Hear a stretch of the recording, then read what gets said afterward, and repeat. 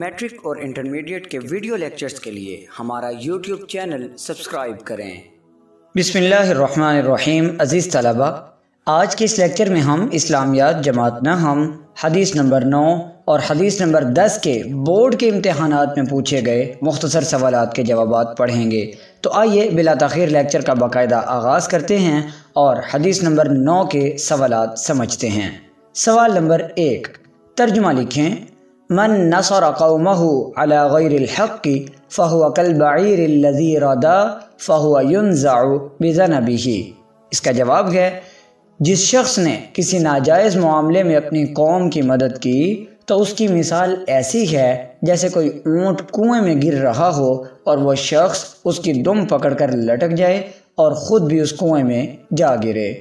सवाल नंबर दो किसी नाजायज़ मामले में अपनी कौम की मदद करने वाले की मिसाल कैसी है?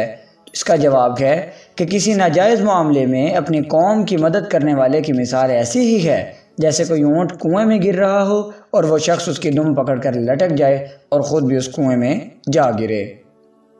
हदीस नंबर दस। सवाल नंबर एक मुलाहिदा कीजिए। तर्जमा लिखें इन अकमलमिन ईमान अहसन खलुक़ा। इसका जवाब है कि यकीनन मोमिनों में कामिल तरीन ईमान वाला वो है जो उनमें अखलाक के लिहाज से सबसे अच्छा है। सवाल नंबर दो, मोमिनों में से कामिल तरीन ईमान वाला कौन है? इसका जवाब है कि मोमिनों में कामिल तरीन ईमान वाला वो है जो उनमें अखलाक के लिहाज से सबसे अच्छा है। सवाल नंबर तीन, हसन अखलाक की क्या अहमियत है और हसन खुल्क कैसा अमल है? इसका जवाब है कि हुसन खुल्क एक ऐसा अमल है जिससे आपस की नफ़रतों को ना सिर्फ़ महब्बतों में बदला जा सकता है, बल्कि दुश्मनों के दिल में भी घर किया जा सकता है।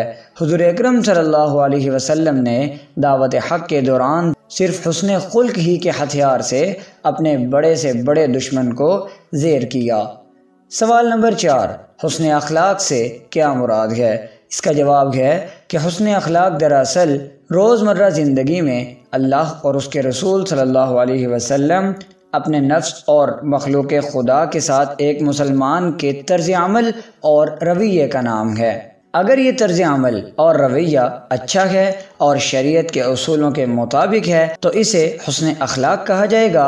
और अगर ये तर्ज अमल और रवैया अच्छा नहीं तो, तो उसको बुरे अखलाक में शुमार किया जाएगा। अज़ीज़ तलबा, आज के इस लेक्चर में हमने उर्दू जमात हम हदीस नंबर नौ और हदीस नंबर दस के मुख्तसर सवाल के जवाब पढ़े। अगले लेक्चर में इन मौज़ूती मतालजात के मुख्तसर सवाल के जवाब की तरफ़ बढ़ेंगे। तब तक के लिए इजाज़त दीजिए। अल्लाह हाफिज़।